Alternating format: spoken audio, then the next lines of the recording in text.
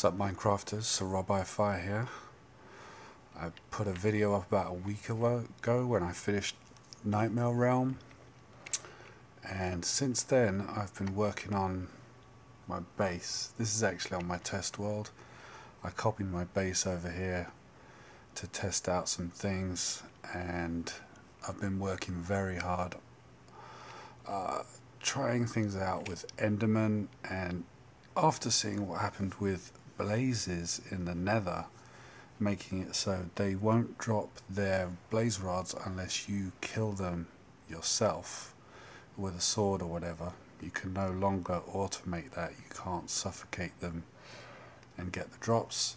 I figured you know what? They're probably going to have the same thing happening with Enderman and maybe other mobs too. So thinking okay well we're probably going to want to be able to separate Enderman out or you know you can just create a box where you hold all the mobs and kill all the mobs and kill off Enderman in amongst all of that to get the loot. But you know how a lot of us are like scientists we like to be able to separate and control our subjects. So first of all I brought my mob spawner over here and I did some tests in here. Uh, taking advantage of the fact that when Endermen come into contact with water they will teleport. So I was thinking okay I saw a couple of videos a couple of people doing testing. Uh, Mr. Pixel was doing some of that Pixel Tech. And uh, his tests were fairly inconclusive from what I saw. Uh, now what I found with my testing was even if you go up to the top of the skybox like this and uh, have an Enderman spawning pad right up at the top of the sky and put them into contact with water, as soon as they hit water they can teleport, teleport right down to the ground, so like 64 blocks down. I mean, well, a little less, but 60 blocks easily, they can just teleport straight to ground level, no problem. Uh, when it comes to horizontally, it does seem to be around 32 is their max, but 24 they find easy, and as you wait, make your way up to about 30 and 32, uh, they're less likely to be able to do it before they drown or die from the water contact, not drown, but still. So anyway, I tried, let me go underground, you know? So I dug a huge pit and put some water flows coming from the side going straight into lava with a too high gap so that all of the regular tall mobs just go under there and die in the lava and the endermen get stuck against this glass which gives them plenty of time to scan for somewhere to port to. Now I've actually glassed over this stuff at the moment because I wanted to shut them down while I was doing tests elsewhere. But I had a glass platform going across which I raised up and raised up and raised up and raised up and when I got up to 30, 31, 32 then I was starting to see Enderman dying down here from the damage from water before they could find somewhere to port to. So it was taking them so long. So I figured, okay, well 32 sounds about right. So I imported my funneling system over to here so that they could port up and jump in here. I, I lit it all up so that no uh, mobs would spawn inside it and the only things that would get into here would be Enderman porting up from below. And and I was thinking well from there you know you're going to want to get them to the surface to kill them or if you kill them then you're going to want an item elevator. I don't like the idea of item elevators they make so much noise.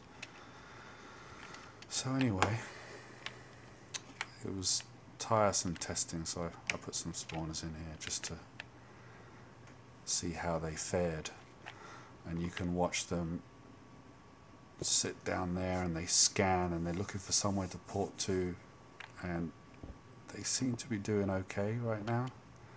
Don't see any dying. They're all eventually finding to port. There's one died but you know this is the thing. You want to minimize the loss because normally they are fairly rare spawns. So you don't want them dying. Anyway they're porting up inside here yeah, I haven't closed off the sides properly but and as you see they all end up in here and they end up funneling down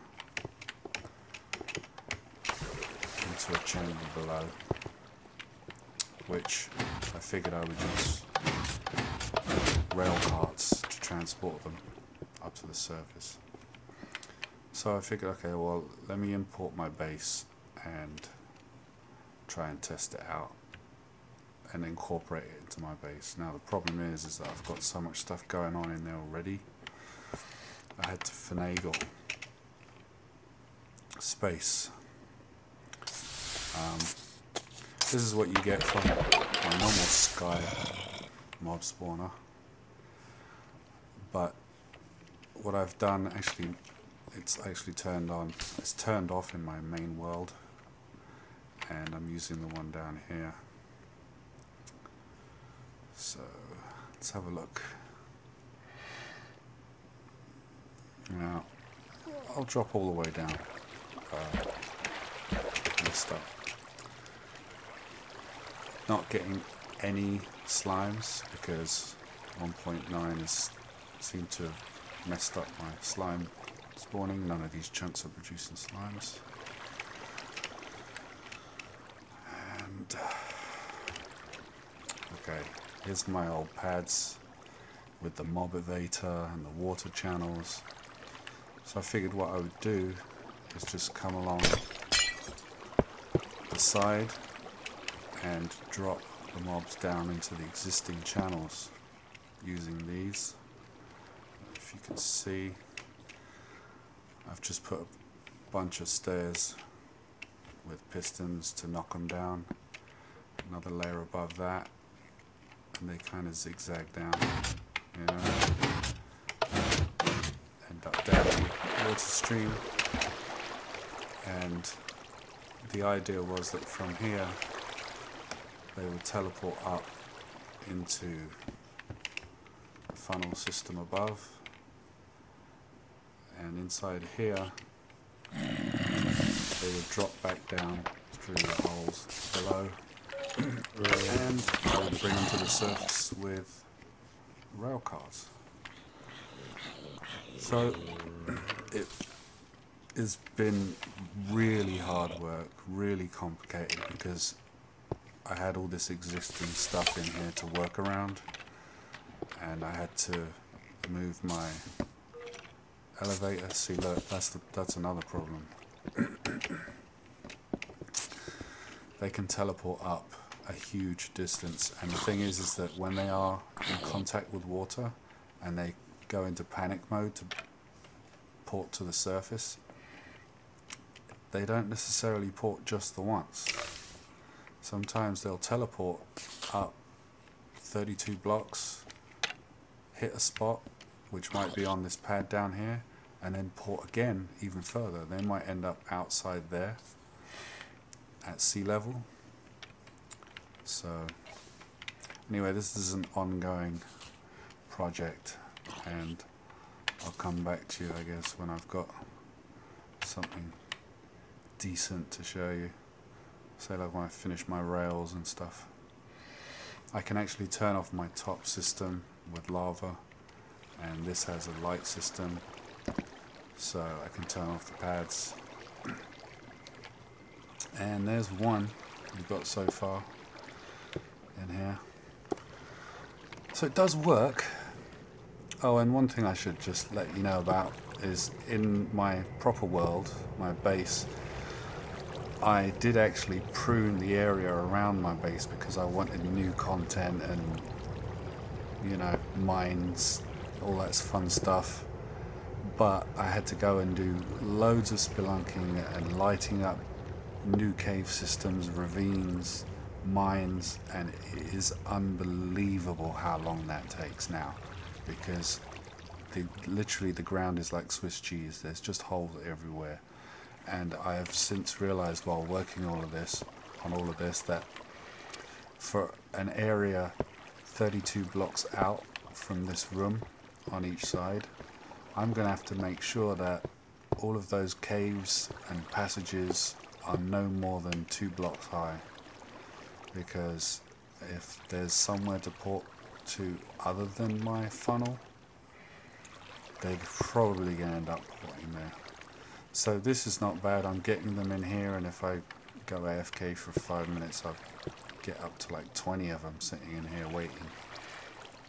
So it works you know the system works but I don't know if this was the best way to do it.